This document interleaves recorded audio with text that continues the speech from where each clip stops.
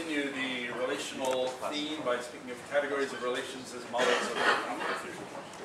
Okay, thank you. I'm going to be talking about some joint work I've been doing with Chris Heunen, um, who's over there. Uh, and yes, it's continuing our trilogy of REL theme talks, I suppose.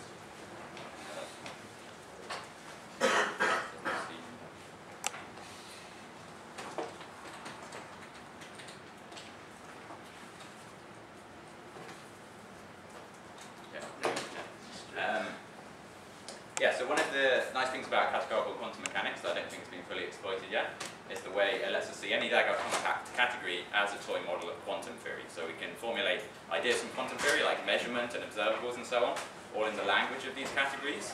And turning that around, you can see any one of these categories as such a toy model. And these toy models are generally interesting just in the way they let you separate out the different conceptual aspects of quantum theory, like say entanglement or superposition. Um, but not too many of these have been studied yet. So the main one, of course, is F-Hilbert, finite-dimensional Hilbert spaces. And this is the category that we're really trying to understand where all the definitions come from. And other than that, the main one people have looked at is this category REL that we've heard about in the past two talks of sets and relations. So the objects are sets, uh, morphisms relations between them, and it's normally interpreted as representing sort of non-deterministic computation. And um, generally REL is studied as a way of just, because of the fact that it acts very differently from F-Hilbert, and it gives you sort of weird, unusual behavior, and that's what the heard about in the last talk from Stefano. Other than that, the main category people have looked at is this category spec, which was shown to correspond to Spekkens' toy model. That's the subcategory of REL. But I think it's quite complicated as a category, so it hasn't been looked at too much since. So what we're going to be doing is looking at a new class of models. We're going to just generalize this REL construction. So we're going to start from a regular category C, and an example to have in mind is the category of vector spaces.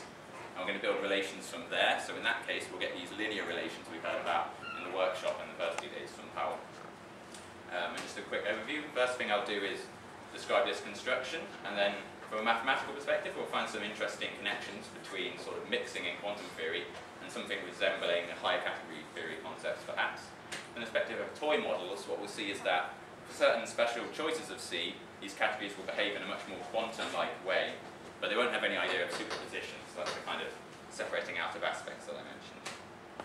So I'll quickly just go over what a Dagger compact category is. So you'll have seen these in the last few talks. So it's a symmetric monoidal category, so we have sort of spatial composition of systems. Compact closed, meaning we have something analogous to the dual of a finite dimensional Hilbert space. It comes with this dagger, which is like the adjoint of a linear map. And they have this nice graphical calculus, so the morphisms are going from the bottom to the top. Uh, the left is the usual composition. In the middle we have spatial composition. On the right, the dagger. We just depict as flipping the box upside down. So let's introduce the construction we're going to be looking at. So generally a relation from A to B between sets is the same thing as a subset of A times B. It consists of all the pairs of elements that are related to each other. The category theoretic analog of a subset is a subobject. And so generally we call a subobject of A times B, a product of objects, a relation from A to B. And C is a regular category. These are particularly well behaved and we get this new category rel C, which is dagger compact. Um, so it's not too enlightening to go through the precise definition of a regular category. The point that's interesting to us that they come with this notion of an internal logic. So what this lets us do is essentially pretend that we're working in this familiar category REL of sets and relations. And in particular, we can use conjunction and the existential quantifier to build new relations from old ones and state and proof theorems just as if we were working in REL. So an example is how we define composition of relations. So if we look at this, it looks like we're defining a set here, and it looks exactly like the set, the way you normally define composition of relations, as sets. But really this is the precise way of specifying a new sub-object in the category. So this is a formal, uh, precise way of defining a new relation in this internal logic. And what this will let us do is essentially prove all our results just by pretending we're working in REL, as long as we're careful that our arguments only use this conjunction as an existential quantifier. Dagger compact structure comes just in REL from the fact that you can see a relation from A to B just as easily as a relation from B to A or from 1 to A times B. So there's no real distinction between inputs or outputs. So just see some examples. These are all regular categories. So any topos, like the category of sets. Any category of algebras, like uh, in the sense of universal algebra, so it's like groups and vector spaces and rings and all of these. And any abelian categories. This is quite general construction. And these are the three examples we use. When we put sets in, we get the usual well we've heard about in the last two talks. When we put groups in, our relations from G to H are now subgroups of G times H. And when we put vector spaces in, they're these linear relations we heard about. So these have come up in recently in control theory, so we heard about that from Powell in the workshop on Monday and Tuesday, and also from uh, John Baez and Jason Erbele, who will be talking about this uh, after lunch in categories and control, I, I think. So that's the construction. So now let's start thinking about these as toy models. So we're going to think about what are the physical systems in these toy models. So we're looking for the analog of C-star algebras. In the categorical formulation, these are described as these special Dagger-Frobenius structures. So that's an object in a Dagger ca category uh, with these multiplication and unit maps, and they satisfy these equations. The point being that when we look at this in F-Hilb, we get precisely finite dimensional C-star algebras. The surprising thing that was found is that uh, a special Dagger-Frobenius structure in REL is exactly the same thing as a small groupoid. So there the, um, the multiplication morphism here is the relation that composes two morphisms of your groupoid if you can compose them. And the unit picks out all the identities of the groupoid. So first result is that li this lifts immediately to this more general setting. So the special Dagger-Frobenius structures in REL C are just the same thing as internal groupoids in C. Um, so I need to tell you what an internal groupoid is, but essentially you take the definition, uh, so you can define an internal category, you take the definition of a, of a category and you write it as a load of commutative diagrams of each sets, and that gives you a definition of a category internal to any other one. It's similarly with groupoids. For example, if this was internal to the category of groups, we have this object A of morphisms, so we have a group of morphisms. We have an object O of objects, so we have a group of objects, and then we'll have arrows between them which represent like the domain map and composition and so forth. And they have to satisfy a big load of diagrams that just say the familiar things that a category satisfies. The way the proof works is using this technique I mentioned with the internal logic, so we can just pretend we're working between relations because we already have a proof there, we just note that this proof all fits inside the logic of these categories. So that gives us a way to describe the physical systems in our toy model, but also turning that around, it gives us a new way to think about internal groupoids, and there's something that do get studied throughout maths. So in set, they're just small groupoids. In group, they're known by a few different equivalent things. So by John Baez and Aaron Lauda, they were called, uh, studied as strict two groups, and they're known to be the same thing as crossed modules, which is something well known from homotopy theory. And in similarly, internal groupoids in the category of vector spaces have been studied uh, in higher category theory as two vector spaces. And there's a, yeah, they're actually a bit different to the two Hilbert spaces that you may have heard of, not quite the same. So those are the physical systems in our toy model. Now let's think about the processes that we allow between them. So we're looking for the analog of completely positive maps. So categorically, we talk about this CP construction. So this is the same as the CP star construction that Oscar talked about the other day. So we're in the middle of a notational shift here. But um, the objects are going to be these special Frobenius structures. And the morphisms are these completely positive morphisms. So that's just defined in this way. So on the left we have something that's like the Choi matrix from quantum theory, and we're just saying that it's positive. So these are the processes we're going to be thinking about. The point is, when you start from F-Hilb, you get finite, finite dimensional C-star algebras and completely positive maps. Now when you start from REL, we know the objects are going to be these small groupoids, but the, uh, the completely positive maps have quite a strange form really. So they're relations between the groupoids, G and H say, so between their sets of morphisms. They respect the inverses of the groupoids, and they respect the identities of the groupoids, but they don't have anything to do with the composition.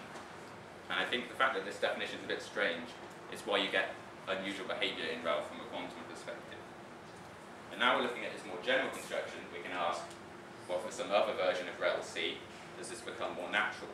So the rest of the talk is going to be talking about a special class of categories where this is the case. So, they're going to put Mal'cev categories. So let's just think about groups of vector spaces. In these categories, you'll find that any relation at all satisfies this law. So what it says is if you have two points and they're related to the, some shared point, they're related to all the same shared points, um, which is quite a strong statement, really. Where does it come from? Well, if you imagine we're looking at vector spaces, say, R is now a subspace of two vector spaces rather than merely a subset. So in particular, it's closed under these linear combinations. So if A, C, B, C, and B, D are all in there, you can add them in this way, and that's how you get the fourth one. And you can do the same thing with groups. So this is the extra law. It gives us a lot of extra structure on our relations. And it, we call C a Mal'cev category when this holds. So these categories have a lot of nice properties. So I mentioned internal groupoids earlier, and internal categories are defined similarly. In these categories, both notions are exactly the same, and that will become relevant in a second.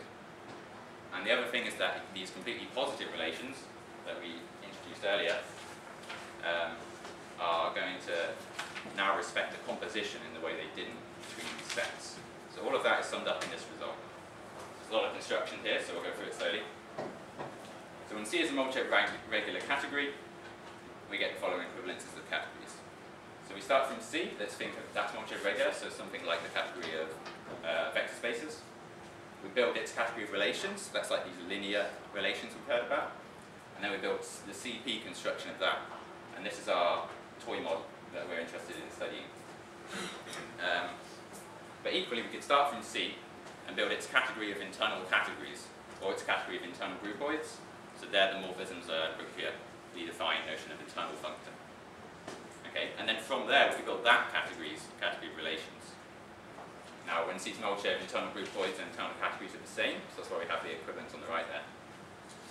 And uh, yeah, so what this result tells us is the objects of CP of LSC are these internal groupoids, and the morphisms from groupoid G to groupoid H are just subgroupoids of G times H. So that's a much more natural um, description from a mathematical perspective. The relations are now respecting the composition of these groupoids. Um, what's interesting about this result, I think, is that we think of CP as something to do with mixing in quantum theory. So we're sort of thinking of this as a, a, a category of mixed and pure processes. But on the right hand side, we have something that seems to be more to do with higher category theory, where you might look at internal categories and things like that. So it's quite an interesting link between these areas.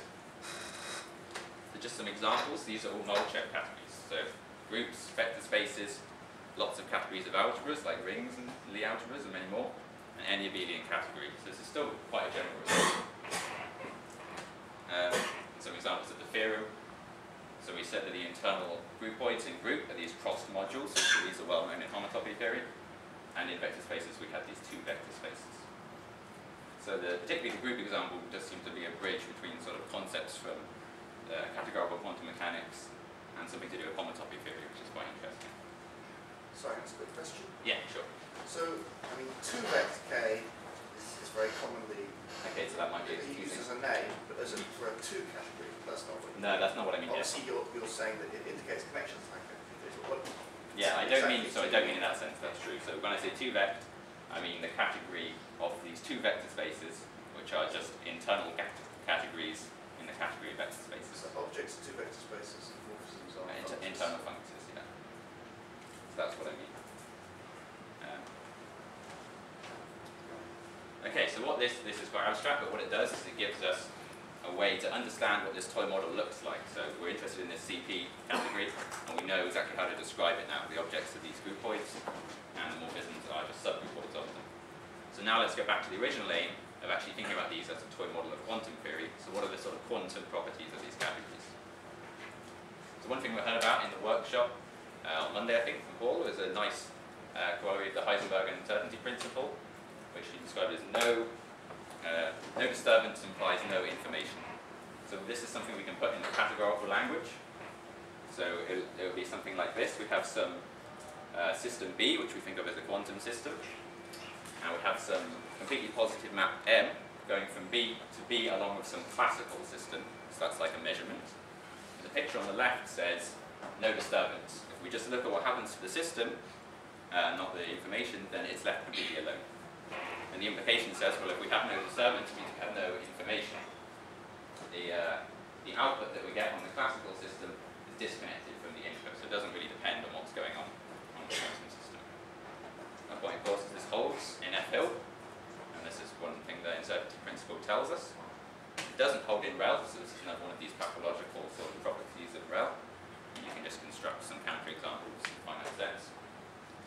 But the new thing is that it does hold when C is Mal'cev C. So the same categories that um, gave us a nice description of this CP construction are also giving us this nice quantum behavior in the sense that we have this, this principle holding here. And another one that we could look at is the no broadcasting theorem. So that tells us that if we have some system that has a broadcasting map, then it's classical. So categorically, have some system A with a broadcasting map B, so it goes from A to two copies of A, and if we just discard either of the outputs, we get a pure channel going straight across, so we have on the left here. Um, then we know that the system is in fact classical, so that corresponds to having a commutative structure. And again, we get all the same results. So this holds in F Hilb in the sense that it holds in CP of F Hilb, so holds between C star algebras. Doesn't hold in CP of REL, and does CP of REL C. So what I would say is that, yeah, these REL C categories behave more quantum-like um, from a diagrammatic perspective, so they're somewhere between REL and F Hilb in how they behave as toy models. Can I ask a question? Yes. Slow broadcasting, B, just an arbitrary morphism. Now, it needs to be completely positive. Um, I'm sorry, but in the category. Um, it's an arbitrary, well, it needs to satisfy this relation here, so it's any completely positive. Any morphism in CP which satisfies this. So I just Yeah, that's right. Okay, so the picture isn't quite this clear in the sense that these do have some slightly unusual behavior from a quantum perspective. So in C as Mal'cev, one thing we get is that any state is actually a projection in this sense here.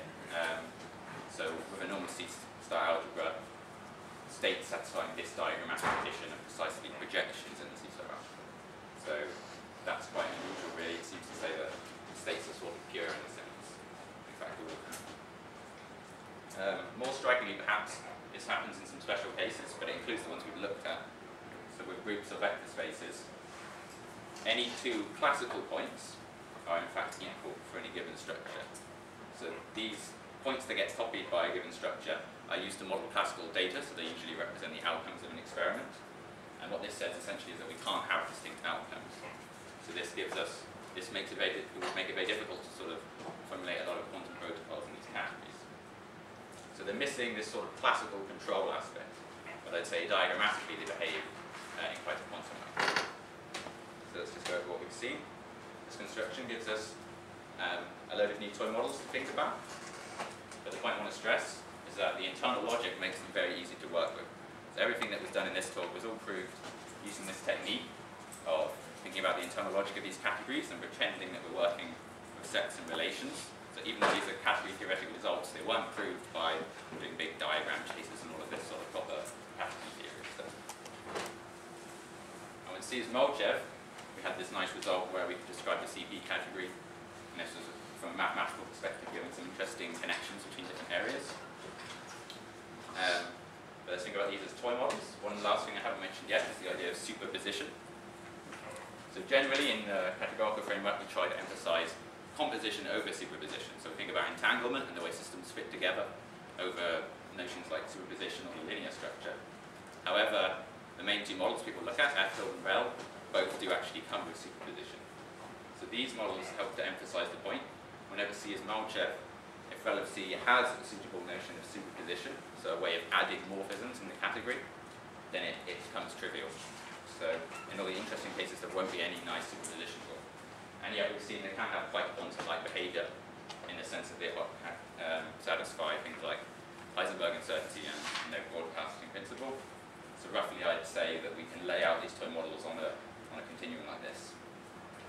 Um, and so yeah, we've managed to find this quantum-like behavior without a notion of superposition, and this separating out of aspects is one of the nice things about toy models, and hopefully models like this help us understand what makes quantum theory so special. So thanks for listening.